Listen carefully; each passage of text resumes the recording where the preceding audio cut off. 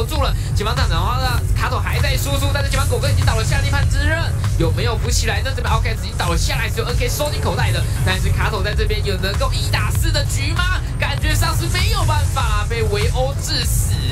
伦伦太猛啦，这波太他一个人进去卡三个人啊，是，然后他也直接瞬移到卡头的脸上，没错，而且硬冠凯撒推进冠军怎么办？恭喜我。